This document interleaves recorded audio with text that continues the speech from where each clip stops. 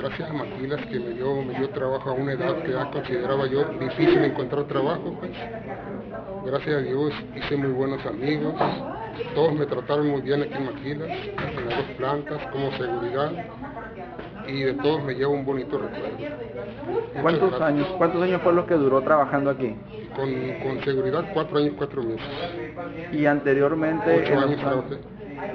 Eh, en total fueron 12 años. 12 años, cuatro meses. ¿Cómo, cómo, cómo recuerda Maquila Tetacawi de hace 12 años a la fecha? ¿Cómo sintió la evolución?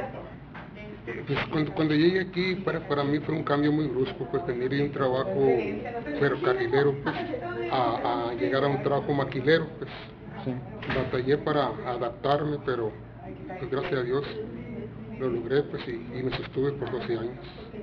Don Emerito, ¿qué impresión se lleva de una industria en la que pues mucha gente piensa que aquí a, a- a la gente pues propiamente no se le da un trato digno? Usted que ya vivió la experiencia de trabajar en una empresa de esta Pues, naturaleza. hay- hay- a la gente nunca se le va a dar gusto, pues, a la gente inconforme por naturaleza, pues, yo creo que debemos estar agradecidos con Maquilas, porque sin Maquilas, Empalme, Guaymas y el Valle, fuera un desastre, pues.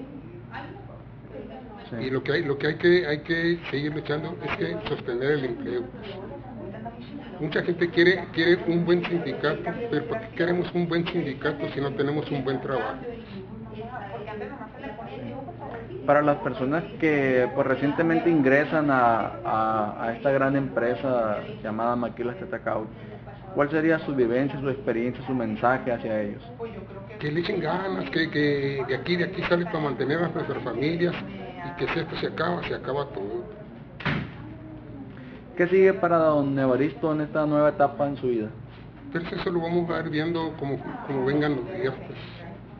Por lo pronto, pues convivir con la familia, con las hijas, con las hijas, con los nietos, pues, y, y a ver qué hacemos allá afuera. Difícilmente pensaríamos que usted dejaría de, de estar sin actividad, porque usted es un hombre activo que siempre nos ha puesto el ejemplo. Pues que este, hay muchas cosas que hacer, desde pues, hacer ejercicio, limpieza en la casa, y, y hay, mu- hay muchas cosas que, que hacer afuera.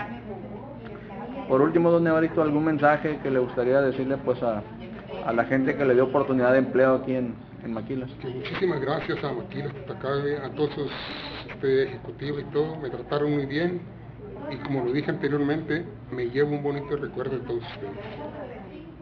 Don Evaristo, muchas gracias y Gracias muchas felicidades. Gracias.